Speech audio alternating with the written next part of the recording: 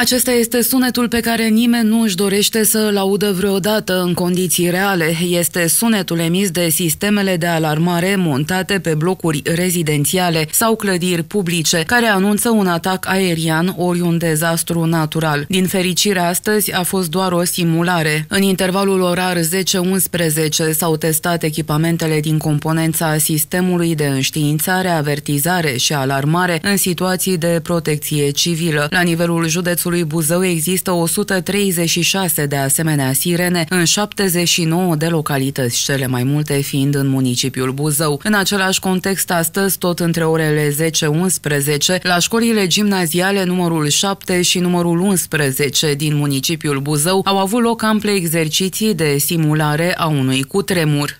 Exercițiile de astăzi au fost uh, simulări de dezastre la școala 7 și la școala 11. Ne-am gândit că este oportunitatea Uh, cea mai bună ca în această oră de alarmare, de verificare a sistemului de sirene, să facem și un exercițiu de evacuare în caz de dezastru la școli.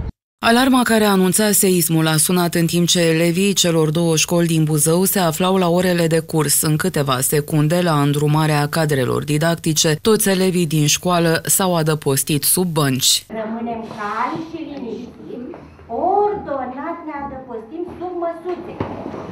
Ordonat ne adăpostim sub dar n-auzim comenzile. După ce cutremurul s-a oprit, însoțiți de dascăli, sute de elevi s-au deplasat pe terenuri de sport din curtea școlii.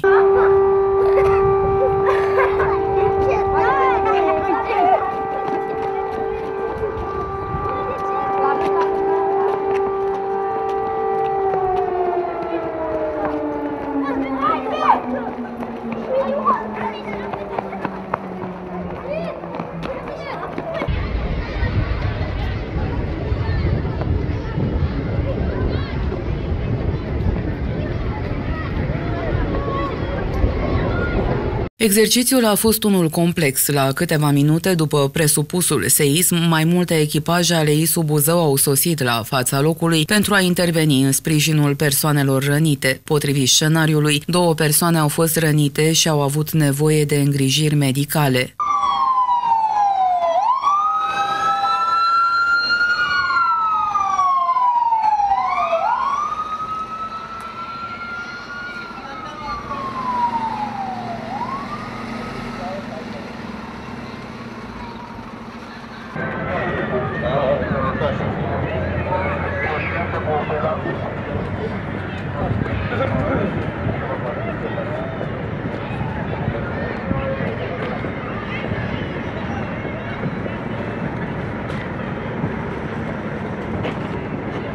Mai sunt victime? Nu, nu. Câte au fost în total? Două victime. Echipele de la ISO au intervenit și au constituit echipe de căutare-salvare pentru a verifica absolut toată școala pentru a nu rămâne cineva surprins de dărâmături. Menționez că acesta a fost un exercițiu organizat de către ISU Buzău împreună cu școala numărul 11. Întregul exercițiu pus la cale de conducerea ISU Buzău s-a desfășurat sub atenta supraveghere a reprezentanților instituției prefectului județul Buzău. Copiii au, copiii au reacționat foarte bine, cred că a fost util și pentru ei și pentru școală. Uh, și în general, astfel de exerciții ne arată ce, ce avem de îmbunătățit. De exemplu, astăzi Uh, reacția colegilor mei a fost foarte bună, sunt foarte mulțumit de exercițiu, copiii au fost entuziaști. Un exercițiu util, un exercițiu unde se poate observa capacitatea de intervenție a structurilor, un exercițiu unde dacă vor apărea uh, lacune, acestea ulterior să fie, să fie corectate. De asemenea, un exercițiu util și pentru cadrele didactice și copii, Doamne ferește, în caz de, de vreun caz real, să, să știe cum să reacționeze în, în, în astfel de situații.